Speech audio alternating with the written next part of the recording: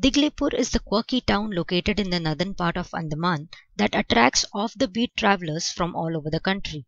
Most people come here for the pristine beach line of the Smith Island or the turquoise waters of the Ross Island, offering a ton of beach activities like snorkeling and swimming.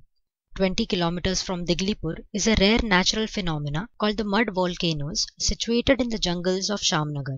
There is a seating available to watch this spectacle along with other tourist information. Kalipur beach is another perfect place to relax and bathe in the sun. If you happen to come here in the months of December and January, you will witness turtles nesting on this beach. Also nearby is the craggy island, most noted for its coral reef featuring a colorful rainbow of fish and other sea creatures.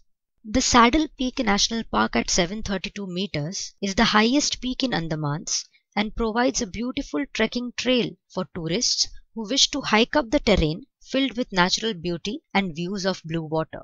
Block Mela, held in the months of January and February, is a bright and colorful event that showcases the development of rural life in the area.